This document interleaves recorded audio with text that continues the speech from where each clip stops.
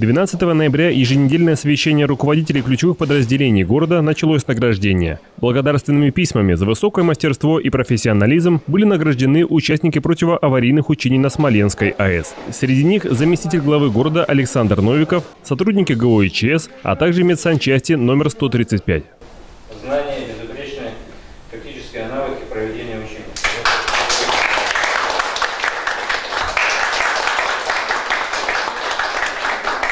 После награждения участники совещания приступили к обсуждению еженедельной повестки. Формирование нового общественного совета – одна из задач городской администрации. К ее решению приступили 28 октября. Правом на выдвижение кандидатов в члены общественного совета обладают некоммерческие организации.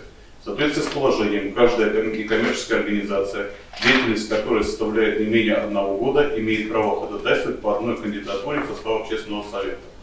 Текстом положения об общественном совете можно ознакомиться на сайте Десногорска в разделе «Общественный совет города Десногорска», а также по телефону администрации. Оперативная обстановка в городе стабильна. Так, по итогам прошедшей недели в отделение скорой медицинской помощи поступило 164 вызова. Круглосуточный стационар госпитализировали 100 человек. Инфекционные заболевания фиксируются на обычном уровне, а для профилактики заболеваний в осенне-зимний период продолжается вакцинация от гриппа. Инженерная инфраструктура работает в обычном режиме. То есть управление многоквартирными домами ведется в штатном режиме. Продолжаем взаимодействовать с контролирующими и профильными органами. Городские мероприятия отмечены соревнованиями по баскетболу за Кубок ЦФО. Игры пройдут в ближайшие выходные в физкультурно-оздоровительном комплексе «Десна». Олег Соловьев, Александр Ерофеев, Владислав Полоскин, Десна ТВ.